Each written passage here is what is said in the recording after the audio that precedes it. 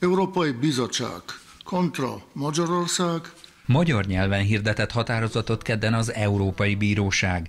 Ez szerint a Lex CEU szembe megy az uniós joggal, ugyanis sérti az unió alapjogi kartájában foglalt a tudományos élet a felsőoktatási intézmények alapításának és a vállalkozás szabadságára vonatkozó rendelkezéseket. Soros György ezt úgy kommentálta a Reutersnek, hogy ez a döntés az Európai Unió alapértékeinek győzelme. A magyar kormány továbbra is lábbal tiporja az uniós jogot, a legújabb áldozat a világhírű színház és filmművészet Művészeti Egyetem. Az EU jelenleg azon tanakodik, hogyan biztosítható, hogy pénzeszközeit a jogállamiságnak megfelelően használják fel. Felszólítom az EU-t, hogy indítson próbapert Magyarországgal szemben. Beszállt a nagyfőnök is, a Fidesz szerint eddig is tudtuk, hogy Soros György behálózta Brüsszelt, de most egy támadás sorozat indult Magyarország ellen. Soros György ezzel újabb fokozatba emelte a Magyarország elleni támadást és ahogy már azt meg annyiszor láttuk, brüsszeli embereinek közreműködésével hajtja végre ezeket a támadásokat. A stúdióban pedig Donát Anna EP képviselő a Momentum képviseletében. Jó reggelt kívánok! Jó reggelt kívánok. Köszönöm, hogy itt volt velünk. Kezdjük is hát talán azzal, ahol befejeződött ez a történet. Soros György a közleményében szó, szó szerint ezt mondta, felszólítom az EU-t, hogy indítson próbapert Magyarországgal. Szemben ezt kifogásolja most leginkább és leghangosabban a kormányzat. És kíváncsi lennék az ön véleményére, mert én ezt most a magyar fordítást olvastam fel, de például Valki László nemzetközi jogász arra utal, hogy az eredeti angol szövegben itt teszt kézről van szó, és hogy ez nem feltétlenül ugyanazt jelenti, mint ahogy ezt lefordították, és ez nem egy próba perek indítását jelenti, hanem ő úgy értelmező, hogy tankönyvi példa lesz, hogy jogállami eljárást hogyan hajtsak végre az egyes tagállamokkal szemben.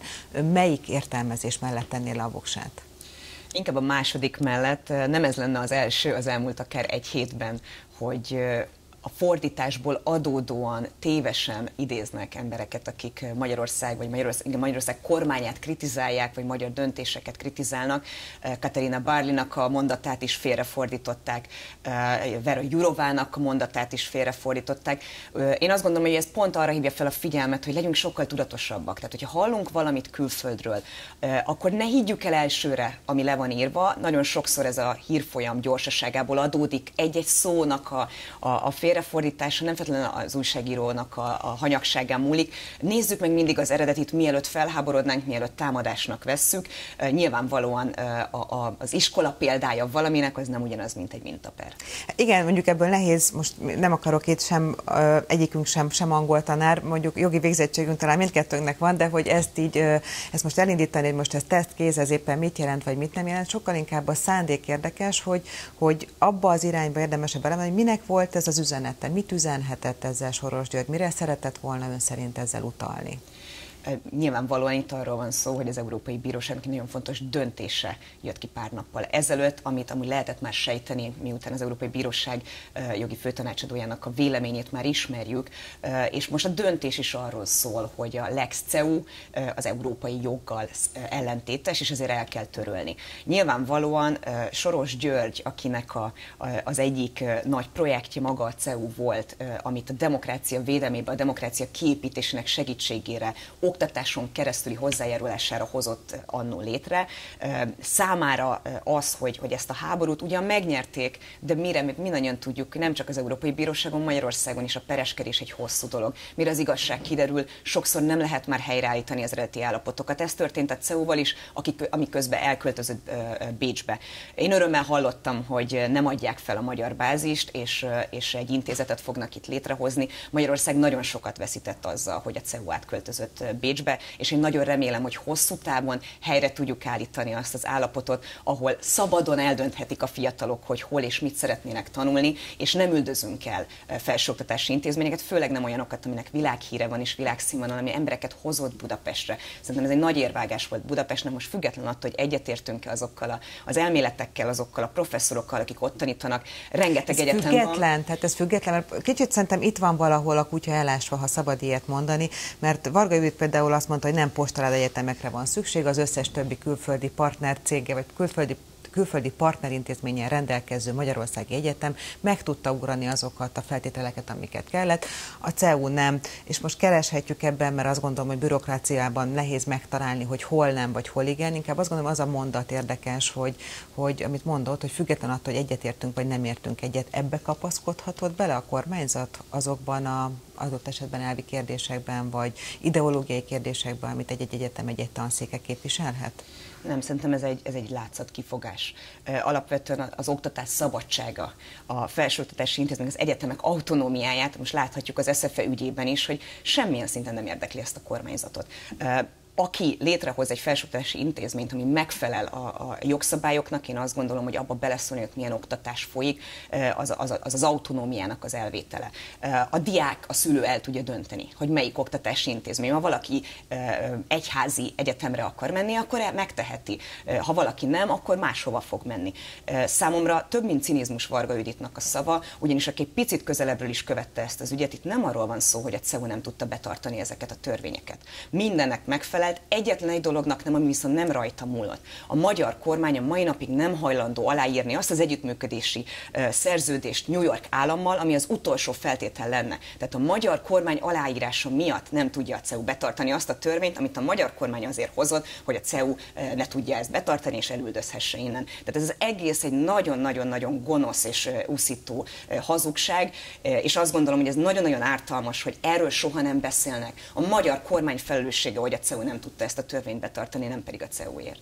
Azt ígértem, hogy a mai aktualitásra is kérdezni fogom. Franz timmermans találkozik Karácsony Gergely, és a vele együtt kilenc ellenzék, illetve független polgármester, városvezető írta alá azt a, kér, azt a ö, kérvényt, vagy azt az elképzelést, hogy közvetlenül juthassanak hozzá magyar önkormányzatok az uniós forrásokhoz.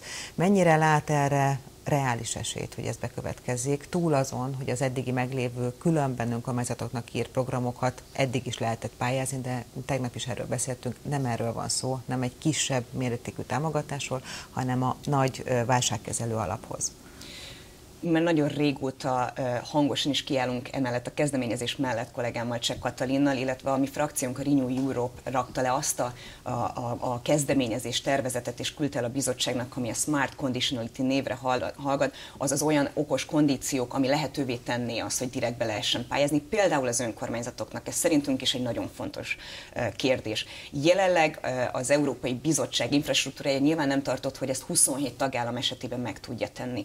Mi ezért szeretnénk szeretnénk azt, hogy ez is belekerüljön abba a jogállamisági mechanizmusba, amit összekötöttek a következő költségvetéssel, illetve amiről most a vita szól ugyanis a lényeg az az lenne, hogy, hogy, hogy mindenképp eljussanak ezek a források az önkormányzatokhoz.